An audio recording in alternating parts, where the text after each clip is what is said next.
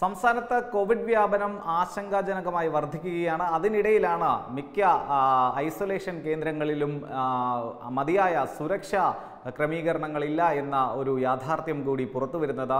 ഇത് വലിയ തോതിൽ തന്നെ സമൂഹത്തിന് ഒരു സാമൂഹ്യ വ്യാപന സാധ്യത തുറക്കുന്നു എന്ന കാര്യത്തിൽ ഒരു സംശയവുമില്ല. അതിന്റെ ഏറ്റവും വലിയ ഉദാഹരണമാണ് ഇന്ന് തിരുവനന്തപുരത്ത് നടന്ന ദൗർഭാഗ്യകരമായ ഒരു സംഭവം.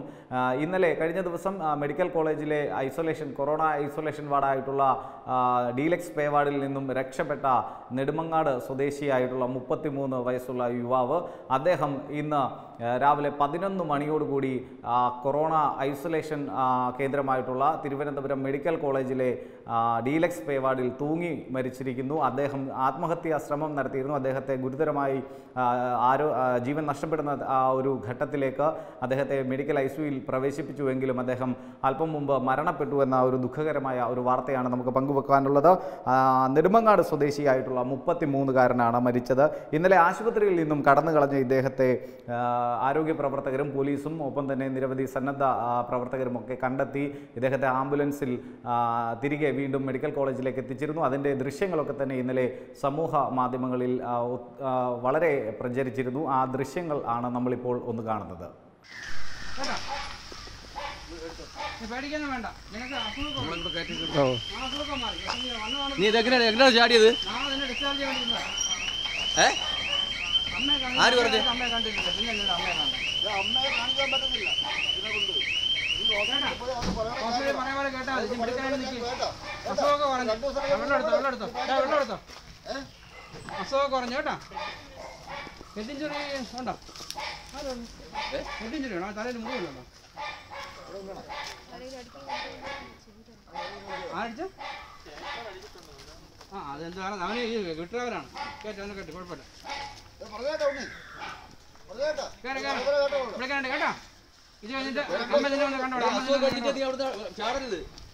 ജയിലിൽ കിടക്കേണ്ടി വരും. അമ്മ വന്ന് കണ്ടോളും. അമ്മയെ വിളിക്കാനുള്ള സൗകര്യം ഫോണിൽ വിളിക്കാൻ. അവന്റെ അമ്മയെ വീട്ടിൽ കയറ്റില്ല അവൻ.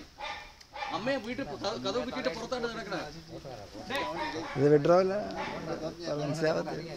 ഉണ്ണി അവിടെ ചാടണം കേട്ടാ നീ പറ്റില്ല നീ ജയിലിൽ കയറും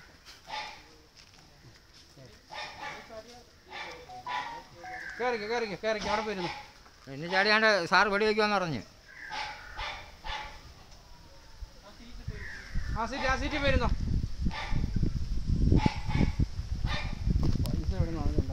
ആ കൊടുത്തത്? കഴിഞ്ഞിട്ട് ആരെങ്കിലും കൊടുത്തു. കേട്ടോ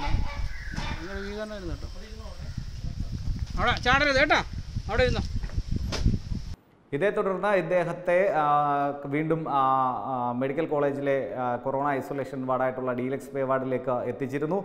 രാവിലെ പതിനൊന്ന് മണിയോടുകൂടിയാണ് അദ്ദേഹം ആത്മഹത്യ ശ്രമി ചെയ്യാൻ ശ്രമിച്ചത്. തൂങ്ങിയ നിലയിൽ ഇദ്ദേഹത്തെ കണ്ടെത്തുകയായിരുന്നു. തുടർന്ന് ഇദ്ദേഹത്തെ ഐ സിയുയിൽ പ്രവേശിപ്പിച്ചുവെങ്കിലും അല്പം മുമ്പ് ഇദ്ദേഹം മരണപ്പെട്ടു എന്നതാണ് ഏറ്റവും ദുഃഖകരമായ ഒരു വാർത്തയായി നമുക്ക് പറയാനുള്ളത്. ഇന്ന് അദ്ദേഹത്തെ ഡിസ്ചാർജ് ചെയ്യാനിരിക്കുകയായിരുന്നു എന്നാണ് ആശുപത്രി അധികൃതർ നൽകുന്ന ഒരു വിശദീകരണം. കാരണം അദ്ദേഹത്തിന്റെ രണ്ട് കോവിഡ് ആ, ടെസ്റ്റുകളും നെഗറ്റീവായിരുന്നു. എന്നാൽ ഈ തരത്തിൽ പോലും കോവിഡ് ബാധിതനല്ല എന്ന് തെളിഞ്ഞിട്ട് പോലും അത്തരത്തിൽ ഒരു കോവിഡ് സംശയം പ്രകടിപ്പിച്ച് കൊറോണ ഐസൊലേഷൻ വാർഡിൽ കഴിഞ്ഞ ഇദ്ദേഹത്തിന് വേണ്ട മാനസികമായിട്ടുള്ള ഒരു പിന്തുണ നൽകുവാൻ എന്തേ നമ്മുടെ ആരോഗ്യ പ്രവർത്തകർക്ക് കഴിഞ്ഞില്ല എന്നതൊരു വലിയ ചോദ്യമായി അവശേഷിക്കുകയാണ്. ഇന്ന് രാവിലെ പതിനൊന്നോടെ കോവിഡ് ഐസൊലേഷൻ വാർഡായ ഡീലക്സ് പേ വാർഡിൽ ആനാട് നെടുമങ്ങാട് ആനാട് സ്വദേശിയായിട്ടുള്ള മുപ്പത്തിമൂന്നുകാരൻ തൂങ്ങിയ നിലയിൽ കണ്ടെത്തുകയായിരുന്നു. ഇദ്ദേഹത്തെ ഉടൻ തന്നെ താഴെ ഇറക്കി അധികൃതർ ഐ സിയുവിൽ പ്രവേശിപ്പിച്ചു. അതീവ ഗുരുതരമായ അവസ്ഥയിലാണ് അദ്ദേഹത്തെ ഐ സിയുവിൽ പ്രവേശിപ്പിച്ചത്. അല്പം മുമ്പ് അദ്ദേഹത്തിന്റെ മരണവും സംബന്ധിച്ച് ഒരു വിശദീകരണം സ്ഥിരീകരണം ആശുപത്രി അധികൃതർ നൽകിയിരിക്കുന്നു. എന്നാൽ ആശുപത്രി അധികൃതർ പറയുന്നത് ഇദ്ദേഹം കോവിഡ് രോഗബാധിതനല്ല. ഇദ്ദേഹത്തിന്റെ രണ്ട് പരിശോധനകളിലും ഇദ്ദേഹത്തിന് കോവിഡ് നെഗറ്റീവാണ്. അതുകൊണ്ട് തന്നെ ഇദ്ദേഹത്തെ ഇന്ന് വൈകുന്നേരത്തോടു കൂടി ആശുപത്രിയിൽ നിന്ന് ഡിസ്ചാർജ് ചെയ്യാനിരിക്കുകയായിരുന്നു. എന്നാൽ എന്തെങ്കിലും തരത്തിലുള്ള കാരണം ഇന്നലെ ആ ദൃശ്യങ്ങളിലൊക്കെ കാണുന്ന പോലെ തന്നെ ഏതെങ്കിലും തരത്തിലുള്ള മാനസിക മാനസിക സമ്മർദ്ദം അതിനെ അതിജീവിക്കാനാവാതെയാണോ ഈ യുവാവ് ജീവൻ ജീവനൊടുക്കിയത് എന്ന് കൂടി നമ്മൾക്ക് പരിശോധിക്കേണ്ടതുണ്ട്. ഇന്നലെയാണ് ഈ ആശുപത്രിയിൽ നിന്നും ഇദ്ദേഹം അധികൃതരുടെ കണ്ടുവെട്ടിച്ച് പുറത്തു ചാടിയത്. കോവിഡ് രോഗികൾക്ക് ധരിക്കാൻ നൽകുന്ന വസ്ത്രത്തോടെ ആനാട്ടെ വീട്ടുപരിസരത്തെത്തിയ ഇദ്ദേഹത്തെ നാട്ടുകാർ തടഞ്ഞു വെക്കുകയായിരുന്നു. എന്നാൽ തുടർന്ന് അധികൃതർ എത്തി ഇദ്ദേഹത്തെ ആശുപത്രിയിലേക്ക് മാറ്റുകയും ചെയ്തു.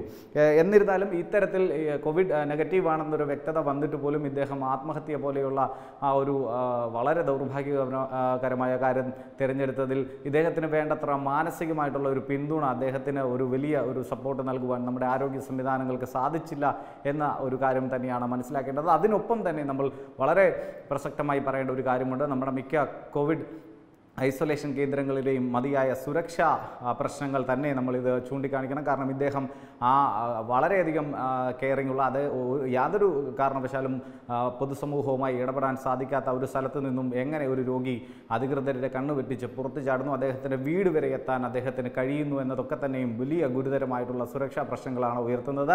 എന്തായാലും ഇനിയെങ്കിലും ഇത്തരത്തിലുള്ള ദൗർഭാഗ്യകരമായുള്ള സംഭവങ്ങൾ ആവർത്തിക്കാതിരിക്കാൻ ആരോഗ്യ വകുപ്പും മറ്റ് അധികാരികളും സത്വര നടപടികൾ സ്വീകരിക്കുമെന്ന പ്രതീക്ഷയിലാണ് നമ്മൾ ഈ വാർത്ത പങ്കുവെക്കുന്നത്. പക്ഷേ ഒരു കാര്യം ഉറപ്പാണ്. നമ്മുടെ കോവിഡ് ഐസൊലേഷൻ കേന്ദ്രങ്ങൾ അതി സുരക്ഷിതമാകേണ്ടതിന്റെ ആവശ്യകതയാണ് ഈ സംഭവം ഒരിക്കൽ കൂടി വ്യക്തമാക്കി തരുന്നത്.